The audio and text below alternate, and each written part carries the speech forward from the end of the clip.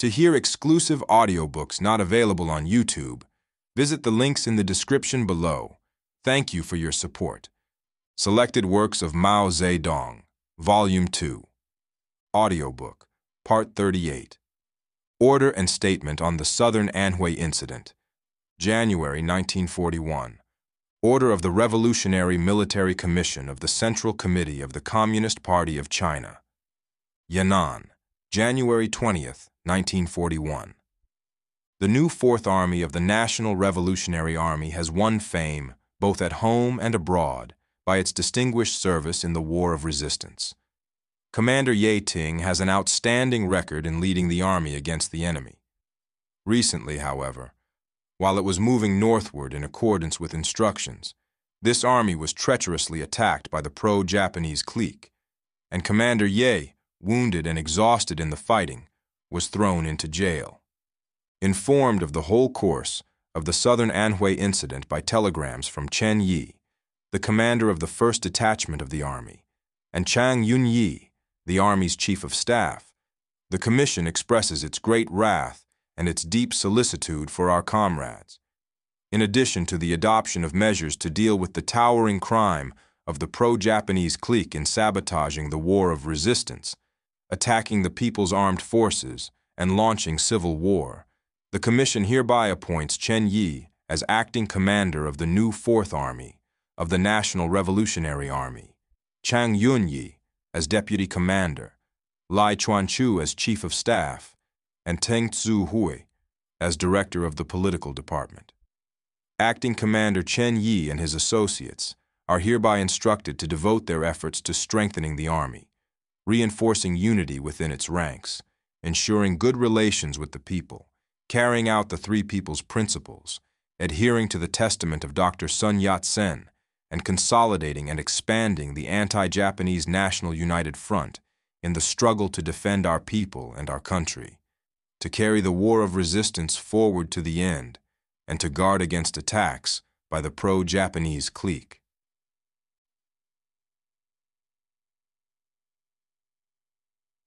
Statement by the spokesman of the Revolutionary Military Commission of the Central Committee of the Communist Party of China to a correspondent of the Xinhua News Agency. January 22, 1941. The recent anti-communist Southern Anhui incident had been brewing for a long time. Present developments are but the opening phase of a national emergency. Since the formation of their triple alliance with Germany and Italy, the Japanese aggressors have redoubled their efforts to engineer changes within China so as to find a quick solution to the Sino-Japanese War. Footnote. The Triple Alliance refers to the tripartite pact between Germany, Italy, and Japan, signed in Berlin on September 27, 1940. End of footnote. Their purpose is to use the Chinese themselves to suppress the anti-Japanese movement and consolidate the rear for Japan's southward drive so that she will be free to drive south in coordination with Hitler's offensive against Britain. A considerable number of ringleaders from the pro-Japanese clique have long entrenched themselves in the party government and army organizations of the Kuomintang and have been carrying on agitation day and night.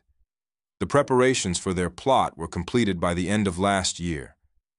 The attack on the new Fourth Army units in southern Anhui and the reactionary order of January 17th are only the first open signs of this plot. Footnote The counter-revolutionary order of January 17th for the disbandment of the new Fourth Army was issued by Chiang Kai-shek in the name of the Military Council of the National Government. End of footnote. Incidents of the gravest nature will now be staged one after another. What are the details of the plot of the Japanese aggressors and the pro-Japanese clique? They are as follows. 1. To publish the two telegrams of October 19th and December 8th to Chu Te, Peng Te Huai, Ye Ting, and Xiang Ying over the signatures of Ho Ying Chin and Pai Chung Si in order to arouse public opinion. Footnote. These two notorious telegrams were sent late in 1940 by Chiang Kai-shek when he launched the second anti-communist onslaught, and they were signed by Ho Ying Chin and Pai Chung-si, Chief and Deputy Chief of the General Staff of the Military Council of the Kuomintang government. The telegram of October 19th contained outrageous calumnies against the 8th Route Army and the new 4th Army which were fighting in the enemy-occupied areas and peremptorily ordered their units operating against the Japanese south of the Yellow River to be shifted to the north by a specified date. In the interest of unity for armed resistance, comrades Chu Te, Peng Te Huai, Ye Ting, and Xiang Ying, in a joint reply on November 9th, consented to shift the troops in southern Anhui to the north, at the same time rebutting the slanders. The telegram of December 8th, signed by Ho Ying Chin and Pai Chung Si, which was a reply to the telegram of November 9th, represented a further attempt to turn public opinion against the Communists. End of footnote. 2 to start a press campaign on the importance of observing military discipline and military orders in preparation for launching civil war. 3. To wipe out the new Fourth Army units in southern Anhui. 4. To declare that the new Fourth Army has mutinied and cancel its official designation. These four steps have already been taken. 5. To appoint Tang Enpo Li Pin-xian, Wang Chung-lian, and Han Te-chin as communist suppression commanders of the various route armies in central China, with Li Tsungjian as supreme commander, in order to attack the new Fourth Army units under Peng Shuifeng, Chang Yunyi, and Li Xiannian, and, if this comes off, to make further attacks on the 8th Route Army and the new Fourth Army units in Shantung and northern Kiangsu, with the Japanese troops acting in close coordination. This step is now being taken. 6. To find a pretext to declare that the 8th Route Army has mutinied, cancel its official designation, and order the arrest of Chu Te and Peng Te Huai. This move is now in preparation. 7. To close down the liaison offices of the 8th Route Army in Chungking, Xi'an, and Guilin, and arrest Chou En-lai, Ye Qianying, Tung Pi-wu, and Teng Ying Chao. This move has begun with the closing down of the liaison office in Guilin. 8. To close down the new China Daily. 9. To launch attacks on the Shensi Kansu Ningxia border region and seize Yan'an. 10. To make wholesale arrests of prominent people favoring resistance to Japan and suppress the anti-Japanese movement in Chungking, and in the provinces. 11. To destroy Communist Party organizations in all provinces and make wholesale arrests of communists. 12. To proclaim the recovery of lost territories by the Kuomintang government upon the withdrawal of Japanese troops from central and southern China, and at the same time to carry out propaganda on the necessity of concluding a so-called peace with honor. 13. Japan to launch most ferocious attacks on the 8th Route Army by bringing up her troops from central and southern China as reinforcements to the north, and to cooperate with the Kuomintang forces in order to annihilate the whole 8th Route and new 4th Armies. 14. The Kuomintang to continue last year's state of ceasefire with Japan on all fronts in order to turn it into one of general truce and peace negotiations, while ceaselessly attacking the 8th Route Army and the new 4th Army. 15. The Kuomintang government to sign a peace treaty with Japan and join the Triple Alliance. Active preparations are now being made for these moves. Such in general outline is the treacherous plot of Japan and the pro-Japanese clique. The Central Committee of the Communist Party of China pointed out in its manifesto of July 7, 1939. Capitulation presents the greatest danger in the current situation, and anti communism is the preparatory step to capitulation. Its manifesto of July 7, 1940 stated The danger of capitulation has never been so serious, and the difficulties in the war have never been so great as they are today. Chu Te, Peng Te Huai, Ye Ting, and Xiang Ying pointed this out even more concretely in their telegram of November 9th of last year. Certain people at home are engineering a new anti communist onslaught in an attempt to clear the way for capitulation. They want to put an end to the war of resistance by what they call Sino Japanese cooperation in suppressing the communists. They want to substitute civil war for the war of resistance, capitulation for independence, a split for unity, and darkness for light. Their activities are sinister and their designs pernicious. People are telling each other the news and are horrified. Indeed, the situation has never been so critical as it is today. Thus, the Southern Anhui incident and the order of January 17th of the Military Council in Chungking are merely the beginning of a series of incidents. The order of January 17th, in particular, is full of grave political implications. The fact that those who issued this counter-revolutionary order dared to do so openly, risking universal condemnation, shows that they must have determined upon a complete split and out-and-out capitulation. For without their wire-pulling masters, the political representatives of the flabby class of big landlords and big bourgeoisie in China cannot move an inch, let alone embark on an undertaking such as this, which has shocked the whole world.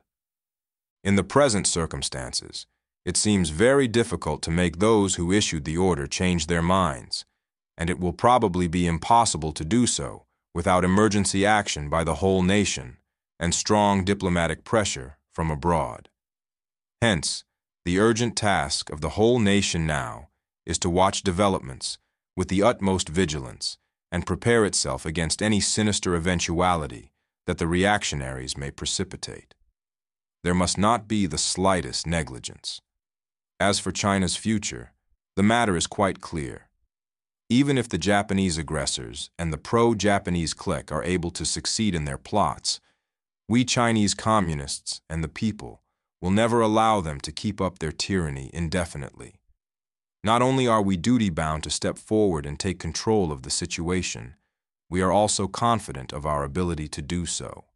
However dark the situation, however thorny the road, and whatever the price that road exacts, the loss of the new Fourth Army units in southern Anhui is part of that price. The Japanese aggressors and the pro-Japanese clique are certainly doomed. The reasons are as follows. 1. The Communist Party of China can no longer be easily deceived and crushed, as it was in 1927.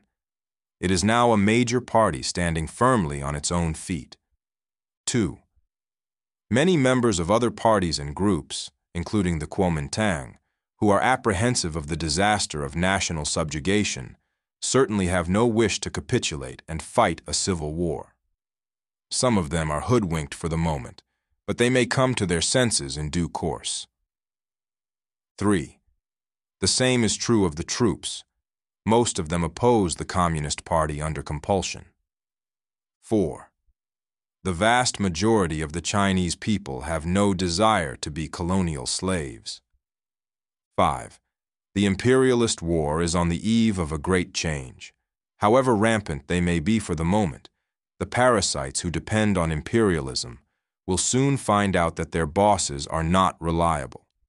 The whole situation will change when the tree falls and the monkeys scatter. 6. The outbreak of revolution in many countries is only a question of time, and it is certain that these revolutions and the Chinese Revolution will support one another in the joint struggle for victory. 7. The Soviet Union is the strongest force in the world and will definitely help China fight the war of resistance to the very end. For all these reasons, we hope that those who are playing with fire will not get too dizzy. We now serve them with this formal warning. Better be careful. This fire is not a plaything. Look out for your own skins. If you calm down and give the matter some thought, you will have to take the following steps promptly and in earnest. 1. Rein in on the brink of the precipice and stop your provocations. 2. Rescind the reactionary order of January 17th and publicly admit that you have been completely wrong. 3. Punish Ho Ying-chin, Ku Chu-tung, and Shangquan Yun-xiang the chief culprits in the southern Anhui incident. 4. Release Ye Ting and reinstate him as commander of the new Fourth Army. 5. Return all the men and arms captured in southern Anhui to the new Fourth Army. 6.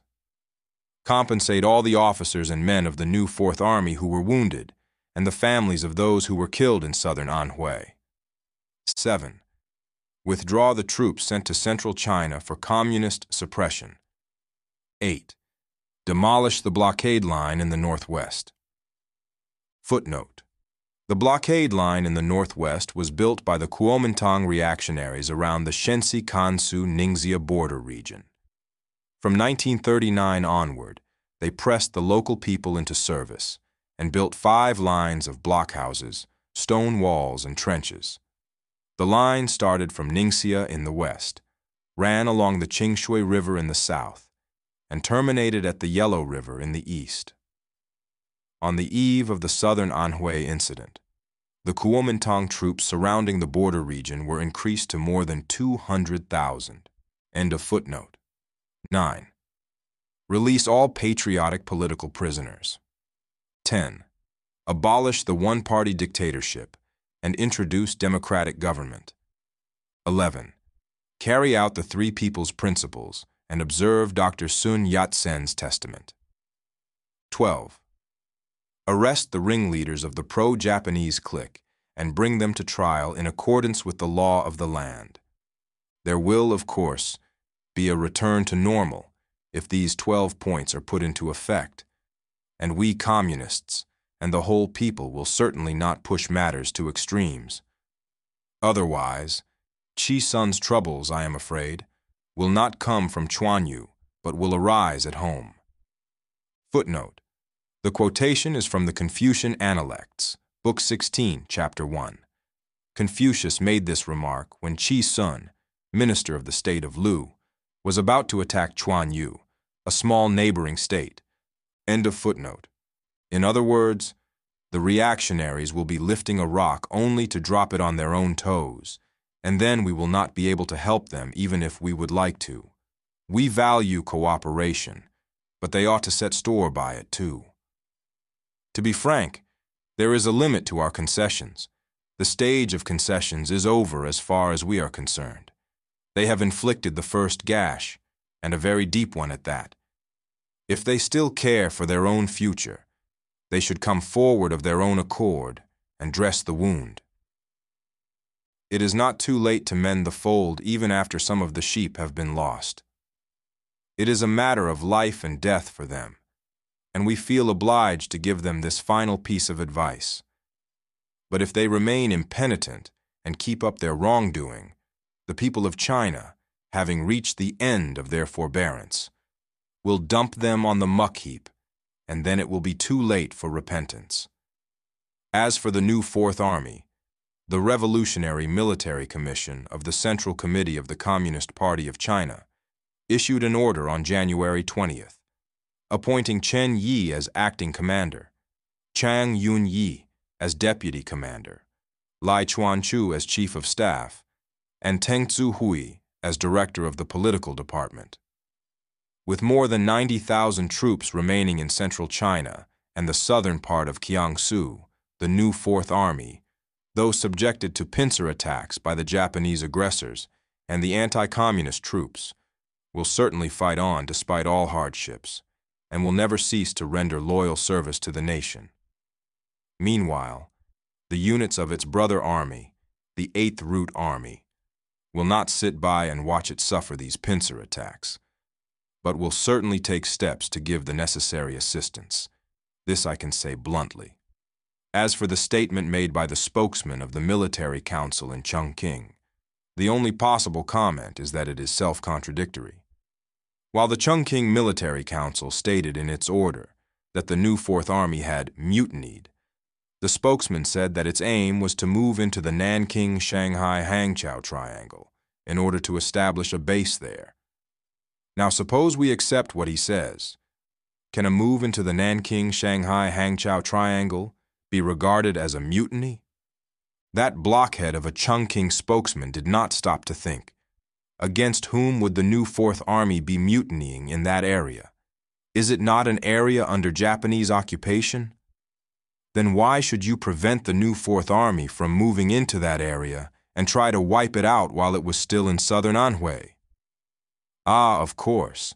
After all, that is what loyal servants of Japanese imperialism would do. Hence their plan to mass seven divisions in an annihilation campaign, hence their order of January 17th, and hence their trial of Ye Ting.